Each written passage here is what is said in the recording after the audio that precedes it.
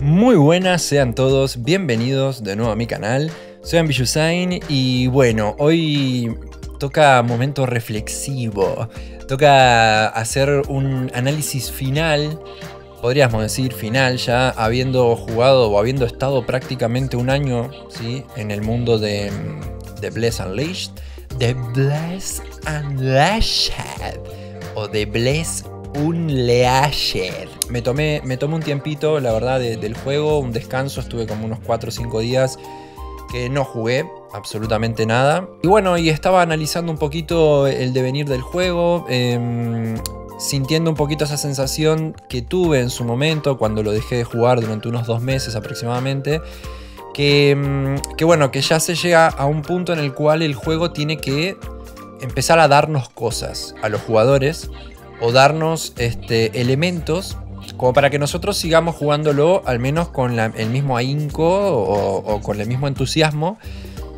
Eh, no diría de cuando recién salió, porque obviamente eso siempre va a bajar ese entusiasmo, pero al menos que uno le dé motivos para meterse, para, jugar, para compartir con, amigos y tal, ¿no? Eh, la realidad es que lo que yo estoy viendo ahora, ahora mismo en el juego, es que bueno, sí, salió la nueva actualización, este, la expansión, la Spear of Salvation, pero se quedó muy corta, así desde mi punto de vista se terminó muy rápido, en 2-3 horas te lo puedes hacer tranquilamente. Y para los que ya venimos hace un tiempo jugando, nos quedó como sabor a poco, ¿sí? nos esperábamos un poquito más, nos esperábamos que nos dé para más tiempo esa expansión. Y bueno, y lo que terminó sucediendo es que fue muy, muy, muy, muy cortita. Y ahora, bueno, esperar a ver con qué nos va a sorprender el juego para que nos dé motivos como para seguir conectándonos todos los días, hacer cositas y jugar, ¿no? Porque la realidad es que llega un momento en el cual el juego te tiene que dar cosas. Entonces, este video eh, en realidad tiene un poquito que ver con eso, ¿no? Con hacer un, análisis, un recorrido con ustedes, eh, con los jugadores tal vez más experimentados, que bueno, seguramente me dejarán un comentario ahí abajo en la zona de comentarios y con aquellos que llegaron al juego hace muy poquito, o, cuando se lanzó ahora a fines de octubre. Entonces es un poquito hacer un balance, un análisis final del juego y, y, bueno, ver qué conclusiones sacamos. Así que bueno, veremos a ver qué nos depara este análisis, a ver si estás de acuerdo con las cosas que voy a estar analizando en este video. Y bueno, como siempre, eh, quédate ahí porque ya comenzamos. Vamos allá. Bien, en este caso eh, yo lo, que estaba analizando eran muchas cosas, ¿sí? ponía en la balanza lo positivo, lo negativo del juego. Y creo que mm, lo que voy a empezar es por lo positivo, ¿sí? las cosas que, a uno lo invitan siempre a regresar. Que por algún motivo uno dice, bueno, voy a tomar un descanso, voy a dejar de jugar. Pero luego cuando regresa es como que el juego tiene ese no sé qué que hace que, que quieras jugarlo, que te resulte divertido y que quieras estar. Principalmente y para mí, o sea, esto es muy de forma personal, a mí me, lo que me gusta del juego es que sea exigente, ¿sí? Pero la realidad es que el fuerte del juego, desde mi lugar, es la aventura. ¿sí? Es el, desafío que plantea durante su historia, en el desafío que plantean algunos jefes de mundo, el desafío de las dungeons, de las dungeons abisales, los desafíos de arena, los lairs, me parece que eso está buenísimo y todo el tiempo el juego te está poniendo a prueba y todo el tiempo te da la sensación de que, de que querés mejorar, de que querés seguir adelante porque querés pasar tal o cual desafío. Eh, porque te picás, eh, te mata un bicho en una arena, en un desafío de arena y te quedás recaliente y querés mejorar para volver a, a, hacer el desafío y matar al bicho. Pasa lo mismo en la batalla contra Gideon que, te mata un montón de veces el viejo y vos querés volver, querés mejorar para hacerlo mierda. Y bueno, eh, eso me parece que está buenísimo porque se siente muy bien la sensación de, eh, de cumplir esos desafíos, ¿no? de lograrlos. Y eso es algo que a mí particularmente, que me gusta mucho la saga Souls y los juegos desafiantes, me parece que está buenísimo porque me da esa sensación de, que, de que superé el desafío, ¿sí? Y no solo eso, sino que mm, como el juego se está nivelando constantemente en las zonas en relación al, nivel de nuestro personaje, todo el tiempo vamos a estar eh, enfrentando seres que van a resultar desafiantes. En fin, es como que siempre nos hace pensar em, de forma estratégica cómo eh, acceder a ciertos desafíos o, cómo hacerle frente a esos desafíos. Este es un MMORPG muy como muy old school, ¿sí? Eh, es muy lento en todo sentido, eh, nos invita a jugarlo lentamente, nos invita a, disfrutar de otras cosas, el progreso es lento, el avance del personaje es lento, y, en ese sentido, la posibilidad de ir armando builds también es, es, muy lenta, es muy paulatina, no es ese típico juego en el cual vos te equipaste con algo de equipo eh, valga la redundancia, y a los 5 minutos un monstruo de mundo cualquiera te dropea otra pieza que ya es mejor que la que tenés equipada y el equipo, lo que te acabas de, poner, te duró 5 minutos porque ya enseguida encontraste algo mejor. No pasa eso en este juego, ¿sí? Sinceramente eso no sucede y, me, parece que es un poquito también de celebrar porque también lo, que, lo que te dice el juego entre líneas es que no te confíes. Dentro de su simpleza, bien implementado el sistema de, de Score, de, subida de, equipo, ¿sí? de, encantamiento, a, pesar de que, bueno, a veces los herreros fallan mucho y eso es una queja muy común entre los jugadores. Pero lo cierto es que con paciencia, y es un poquito lo que te marca el juego, todo, tiene, en todo tenés que tener paciencia, la realidad es que se, mejora y, bueno, y se premia básicamente la perseverancia y la paciencia. ¿Qué pasa? Eh, y acá tal vez voy a, poner algo negativo. Que no todos los jugadores tienen esa paciencia, que no todos los jugadores vienen del palo de, esta clase de juegos y ni, siquiera del RPG. Entonces, eh, claro, lo que va a suceder es que muchos lo terminan dejando a nivel 10, que es básicamente cuando recién empiezan el juego, porque no consiguen cosas. Porque el juego no te da cosas. Si vos no le terminas de encontrar la vuelta a esa lógica que te plantea el juego, es que te terminas aburriendo, porque empezás a notar que no hay cosas para hacer. Y en realidad, claro, el juego premia al paciente, al perseverante, al que avanza de a poquito, y a la larga tenés las recompensas. Y eso es un, un poco también lo que yo trataba de explicar en los directos y en las guías, ¿no? Cuando ustedes me preguntaban cosas y tal. Entonces yo lo que les digo a quienes vayan a jugar ahora, inicialmente, es que se van a encontrar con un mundo de, muchas, muchos detalles, este, con muchos escenarios que les van a encantar con un buen diseño de enemigos, ¿sí? que, al, principio se van a sorprender constantemente, después obviamente se puede tornar repetitivo porque se hace mucho, mucho reciclaje de ciertos enemigos en zonas que vienen más adelante, pero al principio del juego te vas a sorprender con el diseño de enemigos, el sistema de combate está muy basado en esto de, esquivar, de cubrirse, bueno, en el caso del cruzado, eh, del combate táctico, ¿sí? de, de tener en cuenta la gestión de la estamina para siempre poder esquivar. Entonces si te gustan ese tipo de combates, te va a gustar mucho el juego porque también su sistema de ataques es un sistema basado en combos, entre combos y habilidades, con lo cual saber utilizar la, mejor combinación de combos para determinados momentos, eso también es fundamental, de conocer tu, bien a tu personaje y qué combos te convendría meter en determinados momentos. Y luego también qué habilidades utilizarías según las circunstancias. No es lo mismo estar recorriendo el mundo haciendo misiones regionales que ir a hacerte una dungeon abisal. Y todo eso lo que hace en definitiva es que bueno, nos dan un sistema que la verdad que es sencillo en, comparación de otros juegos, pero, pero que tiene cierta profundidad y que, mm, y que, la verdad que está bien en muchos aspectos. Le falta, sí, le falta, pero está bien. Y, y vas a poder armar personajes muy buenos, ¿sí? Otra cosa positiva que siento que tiene el juego es que todas las clases están bastante niveladas. En muchas ocasiones me preguntaban cuál es la mejor clase em, y tal, o que haga guías de las clases, que bueno, todo eso lo van a encontrar en el canal. Y lo cierto es que es difícil recomendar una sola clase, porque lo cierto es que todas, dentro de lo que pueden ofrecerte, están muy bien. O sea, están muy niveladas y creo que eso es un mérito de parte de los desarrolladores de que todas las clases te den una buena experiencia jugable, que con todas te, las puedas pasar bien. Y lo digo por experiencia porque las probé todas. Y no hay una clase que os digas, no, esta la verdad que es aburrida, no me gusta. Eh, todas tienen algo, ¿sí? Te va a gustar o a dejar de gustar dependiendo de tu estilo de juego. Y ya que estás por ahí en la zona de comentarios, te pido que aproveches para suscribirte al canal y tocar la campanita, que de esa manera me estás premiando como creador de contenido y estás apoyando el canal. Así que por favor te pido, suscríbete, toca la campanita y nos estaremos viendo con más contenido aquí. Otro punto positivo es el diseño de los jefes. La realidad es que mm, están muy bien, ¿sí? en su gran mayoría tienen un muy buen diseño, eh, un set de movimientos bastante tocapelotas que, que hace que uno tenga que estar muy pendiente de lo que va a hacer el bicho para poder esquivar, para después pensar cuando atacamos, para pensar cuando tiramos habilidades. Siempre son desafiantes, están realmente muy bien y lo mismo para las dungeons, que además de tener buenos diseños de jefes y tal, eh, hay muchos combates puzzle que, que, bueno, que hay que encontrarle la vuelta para poder pasarlos y no es simplemente ir a matar bichos y ya está. Y también eso implica tener una buena coordinación con el resto de la party.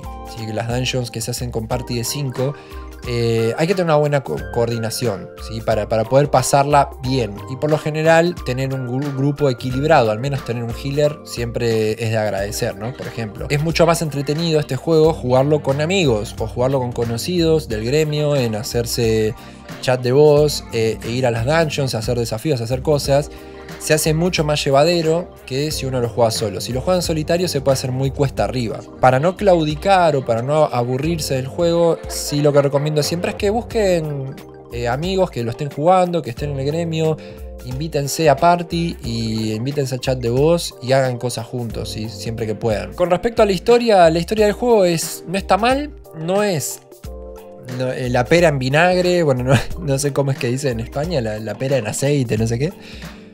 No es la gran cosa, pero tampoco está mal. ¿sí? Es una historia normal, que está para acompañar y que tiene sus momentos eh, buenos y tiene sus puntitos ahí interesantes. Pero nada más, ¿sí? Obviamente hay que tener un nivel medio de inglés como para entender, porque de momento el juego no está en español. Pero si te interesa el tema del lore, la historia y todo eso, te vas a encontrar con una historia bien. Sí, está normalita, no, no está mal, ¿ok? No es Final Fantasy XIV, pero ahí estamos, ¿sí? Entonces creo que tiene todos los componentes como para que sea un buen juego. ¿Qué le falta? Bueno, vamos a lo negativo. Para mí lo que le falta es tener más momentos épicos, ¿sí? que, mm, en términos de historia vos te, prendas un poco más. Eh, que quieras descubrir más cosas, que, que, los secretos que hay que te llamen la atención. Podés jugar el juego sin darle mucha importancia a la historia y vas a tener una buena experiencia. Pero creo que le faltarían más combates épicos de historia. ¿sí? Hay combates épicos contra monstruos del mundo, en dungeons y tal, pero le faltarían combates épicos de historia. ¿sí? Eh, que realmente sean muy épicos, muy complejos. O sea, realmente de historia, historia, historia hay uno solo que es como de los más épicos. O dos, pero la realidad es que mm, le faltaría eso, ¿no? Como épica. Luego, por otra parte, le faltarían más, más clases. ¿sí? Yo siento que están bien las que están, pero le faltarían más clases eh, para, poder elegir, para que haya más variedad. Ese es otro punto que creo que estaría bueno em, decirlo. Yo, desde mi punto de vista, le faltan un poquito más de clases como para, para tener más variedad. ¿sí? De hecho, la clase asesino hace rato que la venimos pidiendo.